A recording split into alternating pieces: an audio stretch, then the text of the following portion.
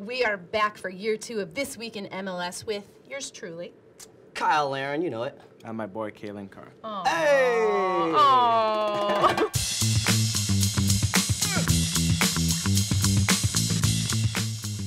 What up? Hey, Sanjay Parker. Guess what? We back. We back. Season they let us two. back. How did this I don't happen? know. I don't know. we had is to pull a few strings. Wait, I also saw Sanjay commented, uh, but when you reply, Susannah, it's just a dope thing. You're the best, Miss Collins. Yes, I am. I feel the same way. When you like text me back, I'm like, that's a dope thing that you that you I me do back. ignore him. That's, That's, cool. That is the absolute truth. What's up, buddy? Not much. How are you? I'm good. I'm good. Um, some things haven't changed, obviously. Your boy Cyle Larin. Yes, We're- intro. I feel like we're, we're starting off on a really high note for Listen, you. the Cyle hype last year was like very chill. This year we're taking it to the next level. Next level, Next Cyle level. Larin hype. Um, all right, we we've got some fun stuff to talk about today. We were out in LA for a media marketing tour, um, but first, I wanna I wanna start out with some of the the biggest off-season storylines. So for you, Calen, what is the one storyline that you have been keeping your eye on? Expansion. I mean, there's two new teams coming in this season, of course, Minnesota and then Atlanta United. Mm-hmm. And the draft, we were out there. I think you interviewed pretty much every draft Pretty pick, much, felt like it. which was fun. felt like it. Um, Abu Danladi was taken first overall, of course. Uh, he's a guy that I've gotten to know pretty well. Had lunch with him when he was still in college at UCLA. I know some coaches there. Um, I think he's going to be a super talented player for Adrian Heath. And then Miles Robinson went number two to Atlanta. Mm-hmm. A, a good start for them as well. I talked to Carlos Bocanegra in the green room backstage at the draft, and he knows a thing or two about center backs. bit. Was singing this kid's praises, talking about his uh, his ability, his future potentially with the national team. So temper your enthusiasm, folks, of course, uh, with young players. But I think he's a bright one to watch. Exciting. What do you I excited about love expansion. Okay, and I'm not just saying this because I am a total Chicago homer, which everybody knows that I am. That's fine. I am no apologies there. But um, I I'm really excited about the signings that Chicago has made this season because and, and we're gonna we're gonna talk a bit more about this this the big Yes, one, the. Dax one. Yeah. Um, but I really Nikolic, Juninho.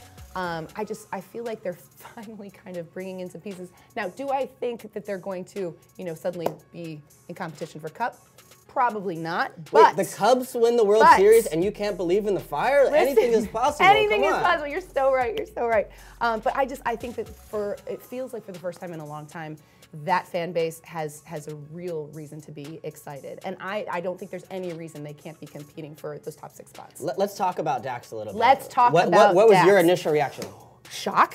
Right. I mean, literally like shock. And I apparently he was too. I don't know if you caught that that tweet that he sent out did. That about was- it. that was great. Um, I think he used the word blindsided, which you know.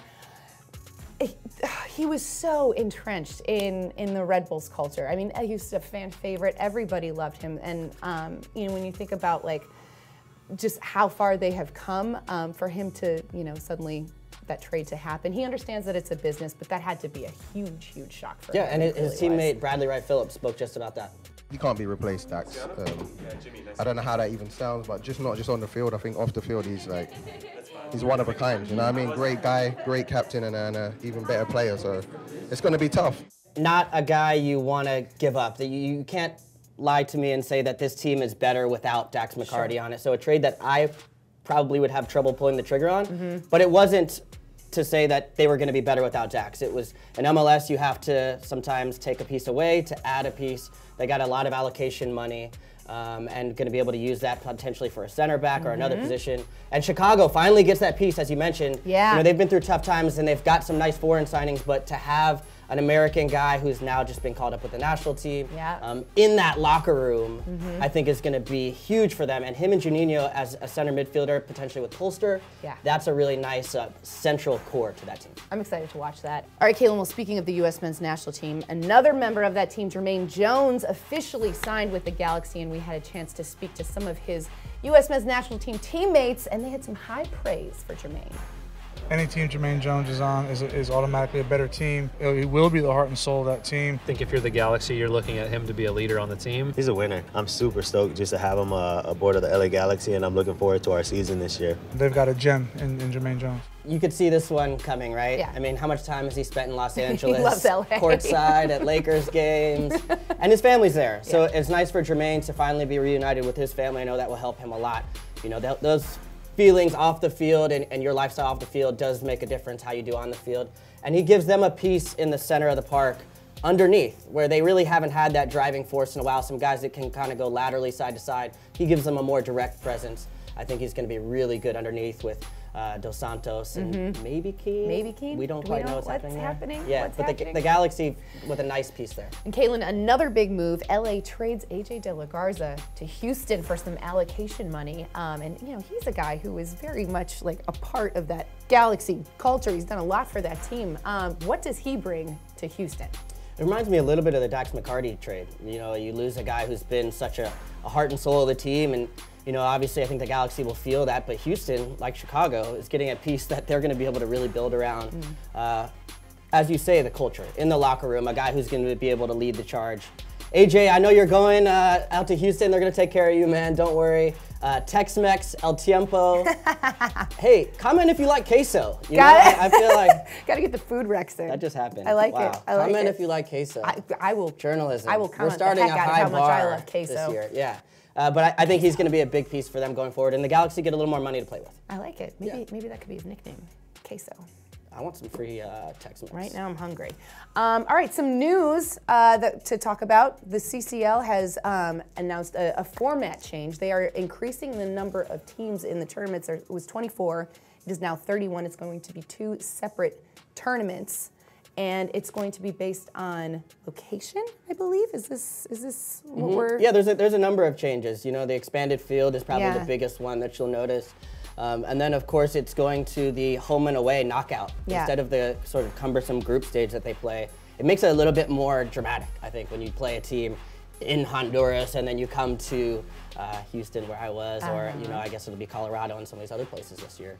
Um, so I, I kind of like this change, and I think you know, for MLS teams to really make some noise outside of just domestically. We have to be able to be competitive in the Champions League. I think this format change allows two winners and more opportunity for more teams to play, see our MLS teams play, and hopefully us uh, get a chance to knock out some of these Liga MX teams.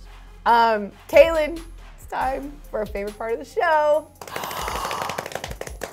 Did you see that? Um, we can't find our button though, which is Where is it? I, where is our button? I think I got my privileges revoked. I used Probably. it too many times You, you year. kind of it's too much it. fun. What do you you abused it. It is. It's a great button. Ah, oh, it up there here. it is. There it is. Hold on.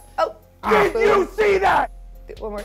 Okay. Did you There see it is. that? There it is. Okay, All right, what is guys. it? So this was we were out in LA uh, last week for media marketing tour, and um, You were like We had everywhere. You were like celebrity sighting. No, it I was wasn't. like ridiculous. I'll let walking you say that. I'll let you say that. But yeah, take. Take a look at, at some of the antics we got up to. What is this day like? It's chaos. Our boy Calen is he, he's doing his best Jack Harrison impression. How do you think he's doing? He's doing amazing. Put a camera on him, I'm not on. You guys having fun today? Being able to kind of hang out as teammates on the road? Yes, it's very nice. Yeah. We're enjoying today. That's cool. Um, oh, uh-oh. Ah, I'm being fired. Hello, guys. Give me your best uh, model face real quick. I'll do one too. We, we did the show at MLS Cup. Have you thought more about taking over our show and mainly taking my job? No, you guys are doing great. I told you many times before. I love the show. What a guy, that Sacha. Yeah. So generous. He is. He's contributed a lot to this show. I know he has I know you're actually. watching, Sacha. I love him. He's very good. He's very good. Um, I should also point out that we, you and I might have had a little photo shoot with a, a certain MLS superstar. We Um, did. and we're just gonna leave that nugget right out there. Yeah. Tease that because Somebody was pretty excited. somebody was pretty excited. So we're And just that was yeah, me also. That was very Yeah, excited. Um, you guys, it is so. I mean, preseason is is here. It's around the corner. Around We're gonna be doing these shows season- every other week, I think, to start. That's right. Every Yep. other week until the season starts. to Um, the but we also we, we want to remind you guys the first day of the season is coming up. Uh, regular season starts on March 3rd. Minnesota will travel to Portland. They play their first game on FS1, and then the other expansion team, Atlanta, they are going to host the Red Bulls on Sunday, March 5th. That is also going to be on FS1. Just two games of a full slate that Two we've got going on. teams. Two expansion Starting teams. I'm so excited. Yeah. Like I can, I'm, I'm starting to feel like the the buzz happening. Yeah, and we don't have to do any preseason fitness tests. That's the Nothing. best part. I know. Just mas I'm. I mean, I'm, I'm already eat as much queso as we want. Queso, bring go. on the queso, more Yeah. queso. Guys, thank you so much for watching. Yeah. This was really fun. We should leave Um, them with some outtakes of uh, what it's like behind the scenes of making the show. You have no idea. Whoop, whoop. We'll start at the two shot. That was good. Thank you. Thank you. And they had some high praise for Jermaine. High praise is all about intonation there. I felt really good about it. Ah! All right. Um, What is it? Should I have teed that up? I'm just gonna let you do the rest of the show. We're not going to the two shot on that one. All right. Take two.